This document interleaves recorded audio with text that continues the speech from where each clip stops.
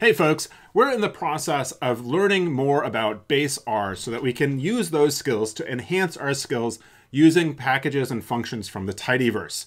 We are reading in a non-rectangular data type. Specifically, we're reading in a lower triangular distance matrix, often called a phylip formatted distance matrix. We are using this because we can't read in the distance matrix using something like read TSV or read CSV from the readr package that automatically imports things as tibbles or data frames, right? And so because it's got this odd shape and it's not rectangular, we have to, you know, learn some base R. And that's all good because learning base R will certainly enhance our skills across uh, the R programming environment. Now, in the last episode, we learned about matrices, and we saw how we could kind of eat through a vector and convert that vector into a matrix. We had a couple problems. So problem one is that it is effectively hard-coded, if you will. That the matrix we were reading in had data for 10 samples. We read it in um, using the same chunk of code repeated multiple times. And so if we wanted to read in a matrix that had, say, 300 samples, I'd have to repeat that code like, I don't know, 290 more times. And that would be really painful. Um, it's what's called not dry, right? And so dry is an acronym for don't repeat yourself. Uh, if you will, I guess this is wet code, right? We're repeating the same chunk over and over with subtle differences. So in this episode, I'm gonna show you an approach that we can use to dry out our code. And we're gonna do that recognizing patterns in the code and using a for loop. I know you've probably heard that for loops are just the worst possible thing ever in R, and you should work to remove all possible for loops.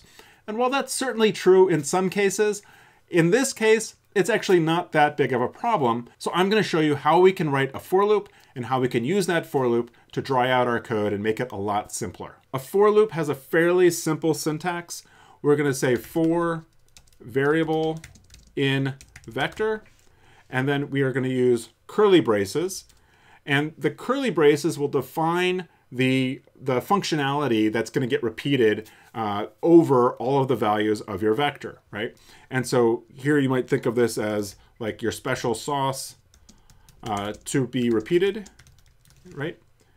And, and so then again, it's going to repeat what's in that uh, however many times or over all of the values of your vector. Let me go ahead and comment this out because this is kind of a template for what we're going to do. So I could say for x in 1 to, to 100, right? So for my variable x in my vector 1 to 100, right? So that vector is 1, 2, 3, 4, all the way up to 100. I'm then going to use those curly braces. Uh, those curly braces are to the right of the P on your keyboard. Um, if you're like me, you've probably never used those curly braces except for programming, but curly braces are helpful for defining a body of code um, really helpful within a for loop and with functions in R. I can then do print x. And so print is going to print the value of x over every element in 100, from 1 to 100, right?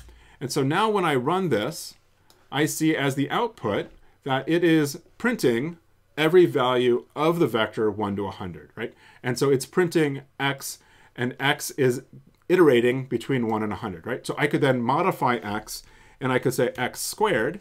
And again, if I run my for loop again, now I get all of the square values of the values from 1 to 100, going 149, right? So that's the, the square of 1, 2, and 3, and finally getting down to 10,000, which is the square of 100. So this is a for loop. This is a very simple for loop.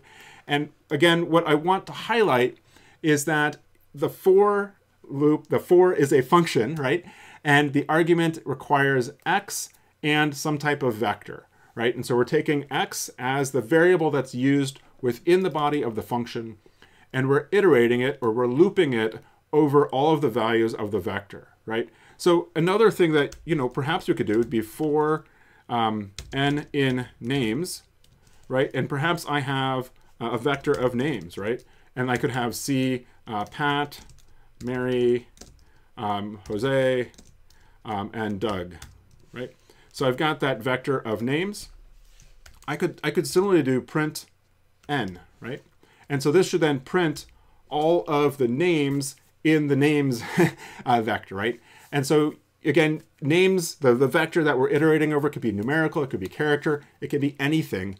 And, and what's really cool is that n then takes on each subsequent value of the vector we're giving it. And it gives it these values in the order that they are in the vector. We have this read_lt matrix.r script. If you want to get this code and you're following along, be sure to go down below. I have a link in the description to a blog post where you can get the GitHub repository and the code that I'm working with uh, here in this project so you can, you can work along with me.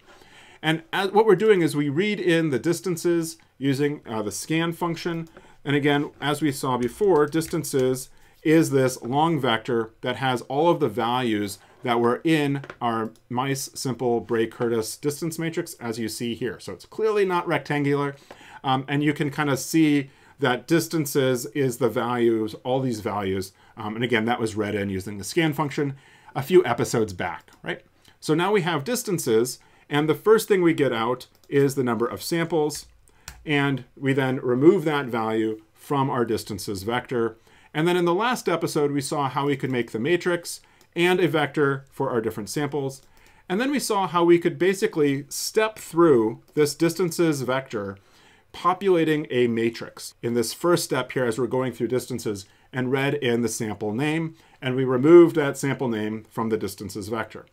Then we came in and we got the second name and the distance. And we took that distance and we plugged it then into the distance matrix matrix, right? And we kept iterating through each row or each sample as we went through.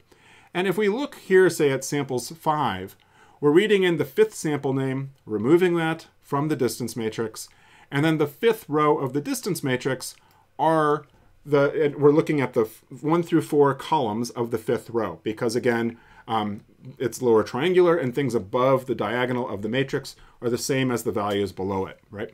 And so the first four columns of the fifth row um, come from the, the next four values in the distances vector. We then removed those four values from the distances vector to create um, the new distances vector that's then used for the sixth sample. So we see a bit of a pattern here, right? If I say created a variable i, right? Um, and let's say the value was six. You know, what if I were to write this expression that I have down here in terms of i, what would it look like? Well, let's go ahead and bring this up and I'm gonna make samples i, right? So that I think is six, right? Um, these ones and minus ones and distance will be the same. Here, I'm gonna go the ith row, the sixth row, and I'm gonna go from one to i minus 1, right? So not 5, but i minus 1, right? And we will then use the same kind of approach to pull those distances out of the distances vector.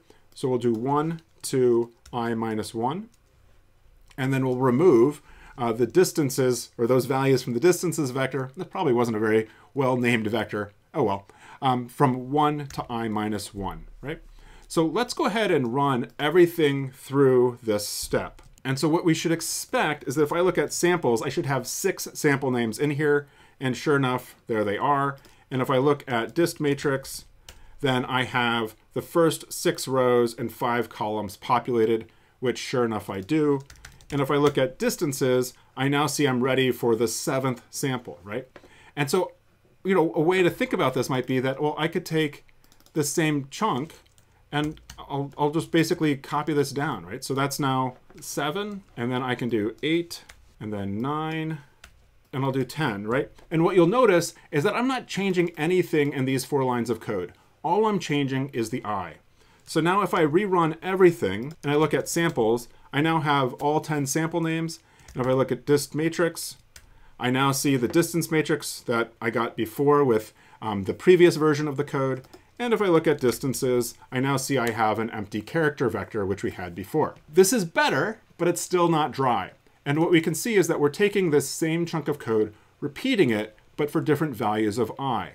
So if we take this chunk of code and we bring it all the way back up, let's see where this pattern starts, right? And so the first thing we pull out after we get the number of samples is the name, right? And so I think the pattern really starts here with 2, right? The sample 2 and row 2 of the distance matrix. So if I did i of 2, then you know does does everything map here, right? So samples 2, right? That maps. this 1 and minus 1 are the same. Uh, and down here at this distance matrix, so this is 2 comma 1, which is what we have right here. Um, and then here as well, uh, 1 to 2 minus 1 or 1, right? And so this all holds from 2 down to 10. So I'm going to go ahead and delete all that code. I'm going to delete this code. So now I have where I'm reading in the vector, I'm reading in the data from the distance matrix, I'm setting things up, and now I'm ready to iterate over all of my samples. So let's go ahead and create our for loop. We'll go ahead and do for i in 2 colon n samples. And notice that we're using 2 rather than 1 because 1 is basically the condition up here, right? Um, we could maybe make it go from 1 to n samples, but that would require a little bit extra coding, a little bit more complicated, that we just, we just really don't need to worry about.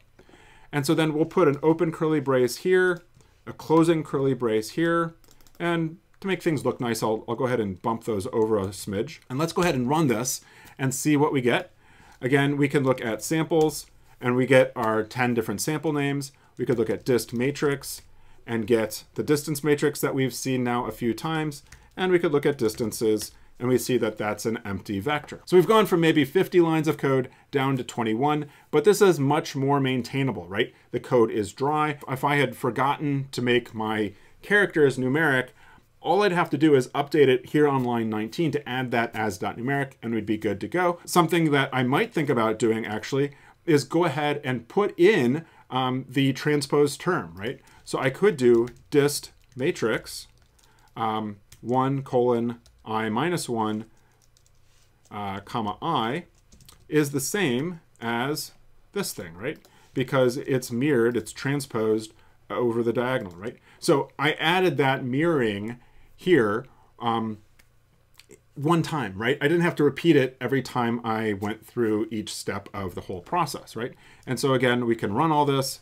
We see dist matrix, and we now see that we've got a symmetric distance matrix. And again, the only reason to point this out is to demonstrate how easy it is to update the code if you're not repeating yourself, right? If I'm repeating myself multiple times, then I have to add this line of code every time I run that chunk of code. But here in a for loop, I do it once, and we're good to go.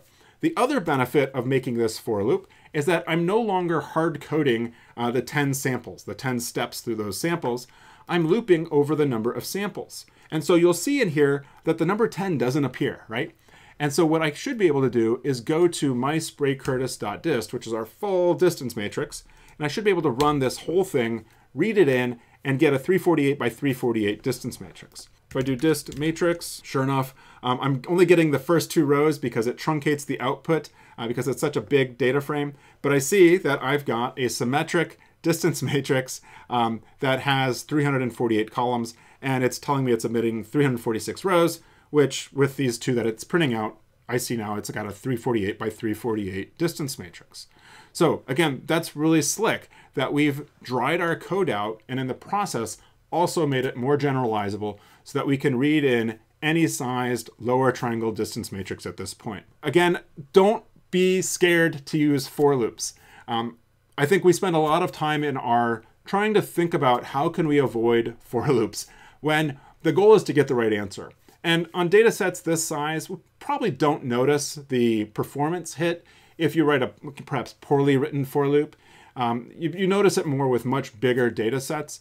Um, another trick that you can use to reduce the detrimental effects of using a for loop is to predefine your data, your, your, where the data is going to get inserted, right?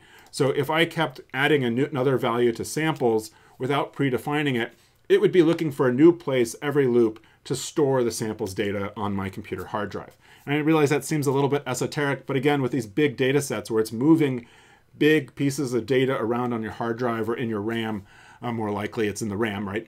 Um, then things slow down and, and, just kind of bog down. And that's a, a performance hit that I know R suffers. Um, and, and anyway, I think we have written, though, um, a good for loop here because we've initialized the data um, when we've set things up, and then we're populating an already existing data um, vector for our sample names and matrix for our distances. Also, we demonstrated the value of having things dry by going ahead and getting the transpose of the matrix um, as we step through each row to populate the column, the corresponding column for each of our samples. So keep practicing with these for loops. Don't be afraid of them. Try to play around with vectors and matrices and all the other base R concepts that we've been working through in recent episodes. And I'll see you next time for another episode of Code Club.